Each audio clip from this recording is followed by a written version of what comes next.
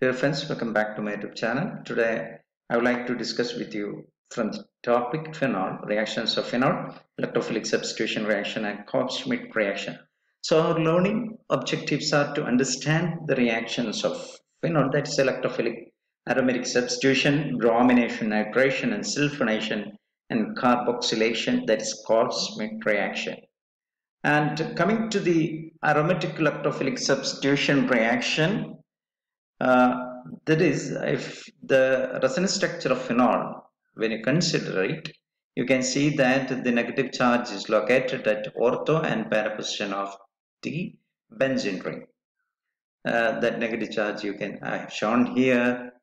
And this is the resonance structure of phenoxide. If you consider the resonance structure of phenoxide you can see that the negative charge is also located at the uh, ortho and para position so the ortho and para position is more uh, uh nucleophilic uh, when you consider the meta position so the, you can easily add electrophile at ortho and para position. So hydroxyl group is a powerful activating group. At the same time, it is an ortho para director uh, in electrophilic aromatic substitution reaction. And phenol itself react with the bromine in aqueous solution to yield 2,4,6 tribromophenol in nearly quantitative yield. And here uh, the Lewis acid is not required. Usually we add Lewis acid for electrophilic substitution reaction in the case of benzene but here it is not required because hydroxyl group is activating group and uh, uh, that is why we are using only bromine and uh, uh in aqueous solution. And this the reaction scheme phenol with the bromine. You get 100% yield of 246 tribromophenol plus HBr and if you wanna go to do monobromination, uh, what you have to do, it can be achieved by carrying out reaction at low temperature in the presence of carbon disulfide that you can see here. Carbon disulfide 5 degrees celsius that is at low temperature.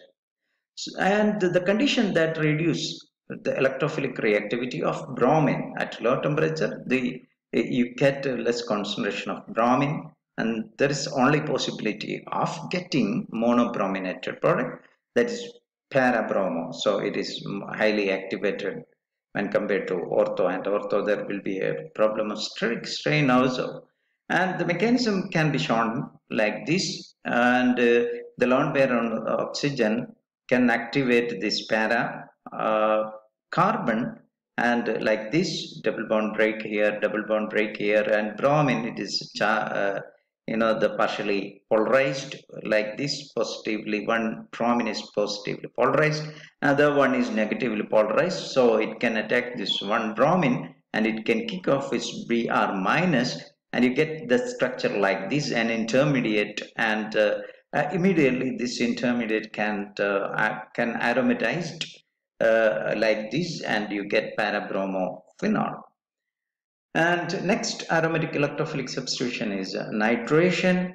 Similarly, the OH group is an, uh, as we already seen, it is an orthopara directing group and uh, uh, the, because of resonance, these, are, these two positions are electron rich and it does not require uh, con, uh, this mixture of nitric acid and sulfuric acid for nitration. Dilute nitric acid is enough because it's already hydroxyl group is an activating group. And if you react in phenol with the dilute nitric acid, you get ortho and para uh, pro nitro phenol in the ratio of 36 ortho and 25% para.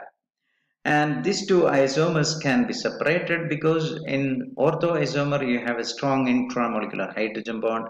At the same time in para isomer you have uh, an intermolecular hydrogen bond. So the ortho compound uh, having lower boiling point because it is uh, intramolecular hydrogen bond. So it can be separated by steam distillation. Coming to the mechanism of this uh, nitration and first one is the formation of electrophile that is NO2 plus. It is uh, as shown here nitro NO2 plus electrophile can be formed like this and next one is uh, there are three possible possibility of attack of this NO2 uh, one is uh, the ortho position that is this and this one. Another one is para position it can attack. At the same time it can attack on uh, uh, uh, meta position. So we have to consider which is the most stabilized one. So if you consider the ortho attack that is uh, ortho this carbon attack this NO2 plus and you you this carbon is an electronucleophilic then uh, you get an NO2 here and this carbon will be positively charged. And this intermediate is uh, you know resonance stabilized like this. And you have a very stable intermediate you, you, here that is shown here. Is highly stable intermediate. So this is a resonance stabilized uh, structure the, if you have the NO2 at ortho position. And when next one, when you consider the meta attack, and you can see an intermediate like this, uh, the, this carbon attack this NO2 group, and this carbon get positively charged, and this carbon is uh, resonance stabilized like this, and you get only three structures. And this when you compare the resonance structure of ortho this is less stabilized. It has less number of uh, resonating structure. And uh, this arch lone pair this this lone pair is not involved in resonance structure also. And when you consider para attack it is similar to ortho one and uh, this carbon attack this electrophile and electrophile added at this carbon. And there there will be carbocation here and this carbocation is resonance stabilized and you get four resonance stabilized structure. And this double bond is also involved in this resonance structure. Sorry the lone pair is also involved. That means this is the most stable resonance structure. And that is why we are getting uh, the ortho and uh, para product in the case of nitrogen. And coming to the sulfonation sulfonation of phenol. Phenol react with the concentrated sulfuric acid to yield mainly orthosulfonated product. If the reaction is carried out at lower temperature that is at uh, 25 degrees Celsius that's uh, almost room temperature. And you get parasulfonated product at high temperature that's 100 degrees Celsius. And this is an example of thermodynamic versus kinetically controlled reaction because uh, phenol with concentrated sulfuric acid at lower temperature you get uh, very quickly this ortho sulfonated product and this is major product. And this is kinetically controlled. It's very fast. And when you have a temperature of around 100 degrees celsius you get para uh, isomer and this is major product and this is thermodynamically controlled product. And uh, next one is the mechanism of sulfonation. And uh, sulfonation sulfuric acid 2 moles of sulfuric acid uh, dissociate to give SO3 that is sulfur trioxide. And uh, this can act as an electrophile. And this phenol uh, uh, they react with this sulfur trioxide and there will be possibility of ortho and para attack. And in ortho attack this carbon get attacked this uh, sulfonate sulfur trioxide sorry and uh, you have this SO3 minus here and you get a double bond here. And this uh, finally aromatized and this base HSO4 minus can help to aromatize this benzene ring.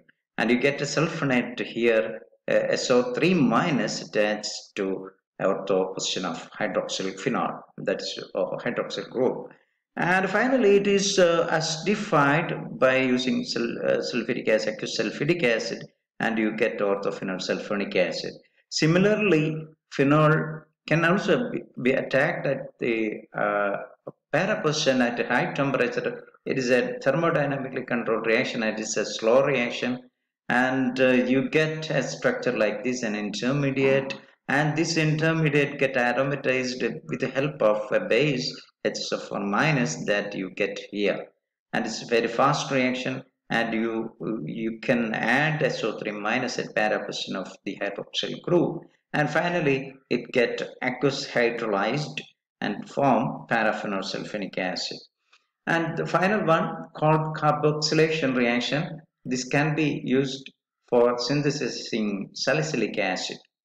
Usually phenol react with the sodium hydroxide form phenoxide or sodium phenoxide and this sodium phenoxide react with carbon dioxide to give carboxylate salt uh, uh, as shown here and it is industrial synthesis of uh, salicylic acid and you get sodium salicylate finally it occurs hydrolysis uh, in the presence of acid would form salicylic acid. And salicylic acid is an important material for the production of aspirin and the importance of salicylic acid in the industrial organic chemistry is demonstrated by the fact that over 6 into 10 raised to 6 kilogram of aspirin are synthesized in the United States each year. So it is an important starting material for preparing aspirin. And aspirin, a popular analgesic which can be prepared uh, uh, from the salicylic acid uh, by treating with acetic anhydride in the presence of sulfuric acid and you get uh, orthoacylated salicylic acid. This is called aspirin plus acetic acid. Byproduct is acetic acid. And this is the mechanism of carboxylation. First, uh, it make a new bond between nucleophile, that is arene ring, and an electrophile like this. This is electrophile, C double bond O, double bond O, that's carbon dioxide. And this phenoxide react like an enolate, and it's a strong nucleophile, and nucleophilic attack of phenoxide anion, anion on carbonyl group of carbon dioxide give a substituted cyclohexadienone intermediate. This is cyclohexadienone intermediate. And uh, this one undergo a ketone enol tautomerism and uh, cyclohexadienone intermediate give the product salicylate. And uh, this this is salicylate anion.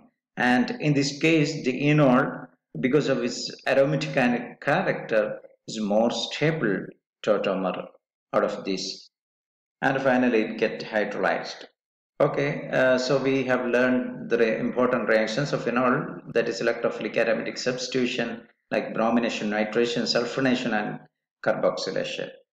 Okay, that's it. Thank you for watching.